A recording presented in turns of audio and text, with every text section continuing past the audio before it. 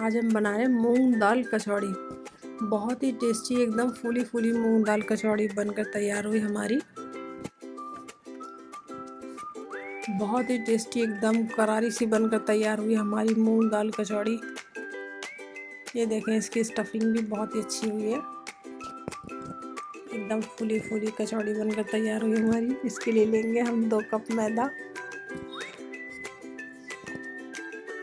दो कप मैदा मतलब होता है, ढाई सौ ग्राम मैदा।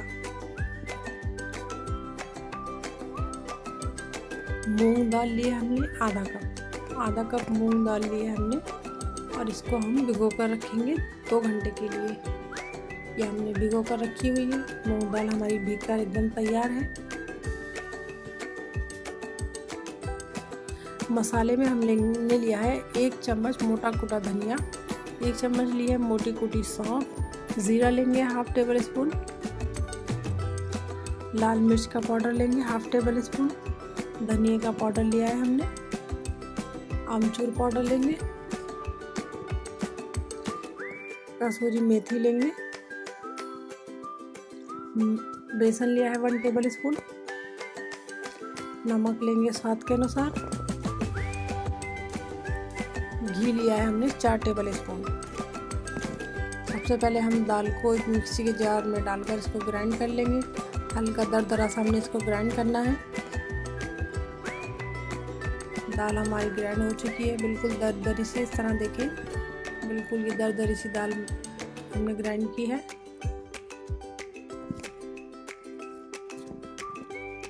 सबसे पहले हम इसका कचौड़ी का डो लगाकर तैयार कर लेते हैं।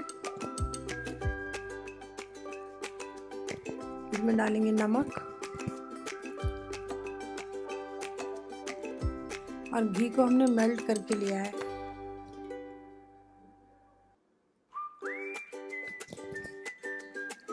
अच्छी तरह इसको मिक्स करेंगे, घी को इस तरह मुट्ठी बाँध कर देखेंगे हर तरफ़ से कि हाँ ये बन रही है। इसका मतलब मोइन इसमें ठीक लगा है। अब थोड़ा थोड़ा पानी डालेंगे हाथ से छिड़क कर और इसका डो लगाएँगे सॉफ्ट डो लगाएँगे। और इसको मल लेंगे अच्छी तरह से।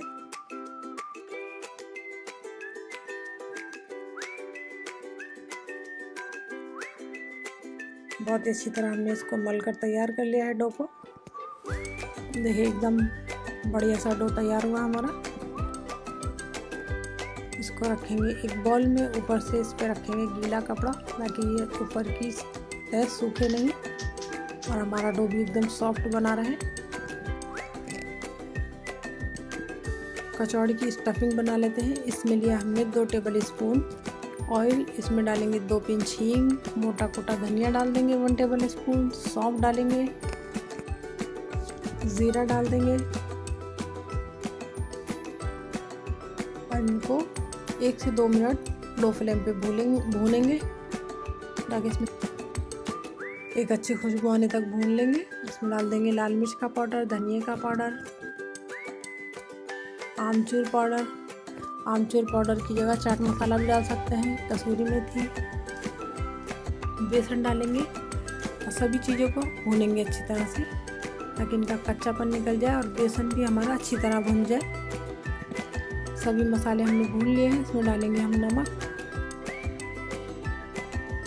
नमक को अच्छी तरह मिक्स करने के बाद इसमें डालेंगे मूंग दाल जो हमने इसको ग्राइंड करके रखा हुआ है। अब मूंग दाल को अच्छी तरह भूनेंगे, ताकि इसका जो अंदर का मॉइस्चर है पूरी तरह ड्राई हो जाए इतना भूनेंगे हम इसको। ये देखें मूंग दाल का जो मॉइस्चर था, बिल्कुल ड्राई हो चुका है। कचौड़ी का मसाला बिल्कुल बनकर तैयार हो गया है, जो इसके अंदर की स्टफिंग है, इसको हल्का सा ठंडा करेंगे और ये मसाले को थोड़ा सा हाथ में लेंगे और इस तरह से एक छोटी छोटी सी बॉल बना लेंगे इनकी, ताकि हमें इन्हें स्टफ़ करने में कोई परेशानी ना हो, ये फैले नहीं। और सभी को इसी तरह बनाकर रख लेंगे। ये देखें, बिल्कुल छोटी छोटी सी बॉल बनाई हमने। डो को देख लेते हैं। डो अच्छी तरह से हमारा बिल्कुल सॉफ्ट है। देखिए कितना सॉफ्ट डो है। इसको एक दो बार इस तरह मल लेंगे। और जितनी बड़ी हमने कचौड़ी बनानी है, उस हिसाब से इसमें से इस तरह पेड़े निकाल लेंगे।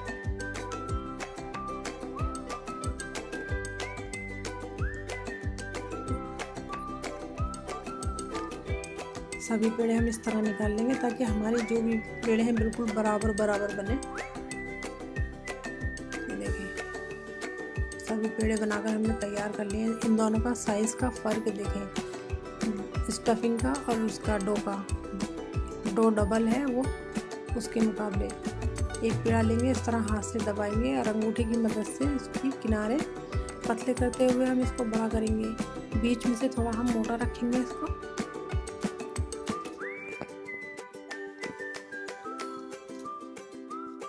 इस तरह अपने हाथ पे रखेंगे। और ये जो हमने स्टफिंग की बॉल बनाई है, इसको हल्का सा क्रश कर देंगे अंदर, ताकि हमें फैलाने में आसानी हो। और सब तरह से इस तरह सील करेंगे अंगूठे और उंगली के बीच में दबाते हुए, ताकि हमारी जो स्टफिंग है वो बिल्कुल बाहर ना आए। तो ये जो हल्की सी चोट बन गई है, इसको इसी तरह दबा देंगे। और हथेली और मदद से इसको फैलाएँगे दाल को। बिल्कुल इसी तरह फैलाएँगे, ताकि हमारी जो दाल है, अच्छी तरह सब फैल जाए, सब तरफ़ ये देखें।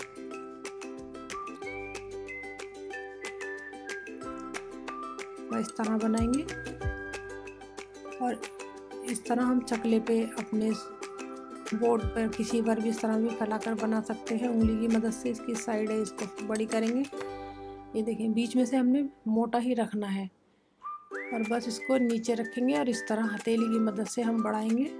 ताकि हमारी जो स्टफिंग है, सब तरफ़ इसको हम बेलन से भी बेल कर बड़ा कर सकते हैं। लेकिन मुझे लगता है कि हाथ से बहुत अच्छी हो जाती है। हथेली की मदद से इसी तरह हम सब बना, पहले बना कर रख लेंगे। जितनी हमें फ्राई करनी है उतनी बना कर रख लेंगे पहले। और हल्का सा एक आटे का डो डाल कर देखेंगे। अगर ये नीचे बैठा है, एकदम से ऊपर नहीं आ रहा है तो इसका मतलब हमारा जो ऑयल है, बिल्कुल सही है। ये देखें, बिल्कुल धीरे धीरे ऊपर आ रहा है। और ऑयल का टेम्परेचर एकदम बिल्कुल सही है। इसमें हम जिस तरफ़ से हमने फोल्ड किया है, वो फोल्ड वाला हिस्सा हम नीचे की तरफ़ करके डालेंगे। और जितने इसमें आ जाएँगे, हम उतनी ही डालेंगे। ओवन नहीं भरेंगे इसके अंदर और इनको बिल्कुल टच नहीं करेंगे जब तक ये खुद से फूल के ऊपर नहीं आ जाती। और फ्लेम को बिल्कुल हम लो ही रखेंगे। और बस एक चम्मच की मदद से इस तरह थोड़ा सा ऑयल में चला देंगे। देखें बिल्कुल ऊपर आ चुकी है फूल का। इनकी साइड चेंज कर देंगे। अब दूसरी साइड से भी इनको बिल्कुल आराम से हम फ्राई करेंगे फूलने तक। ये देखें कितना अच्छा कलर आया, एकदम गोल्डन गोल्डन अब फूल भी ऐसे गए हैं, बैलून की तरह, बिल्कुल। ये देखें किस तरह फूली फूली हमारी कचौड़ी बनकर तैयार हुई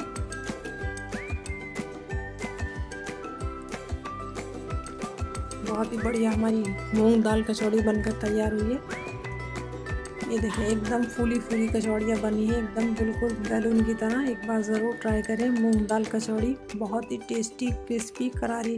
इन्हें कई दिन तक रख कर खा सकते हैं। ये ऐसे ही करारी बनी रहेंगी।